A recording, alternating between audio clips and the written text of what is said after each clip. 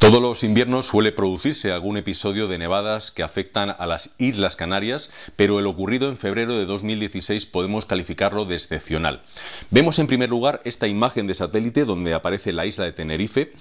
Esta zona blanca de arriba es nubosidad de estancamiento en el norte de esa isla, pero toda esta parte central también de ese color, de color blanco, es nieve, la nieve que cayó en abundancia en el centro, en toda la parte interior de la isla. Vemos una imagen que nos lo ilustra muy bien. Aquí se ve todo el Teide absolutamente nevado y también la zona de las cañadas. Por encima de la cota 1500-1600 prácticamente todo se cubrió de blanco.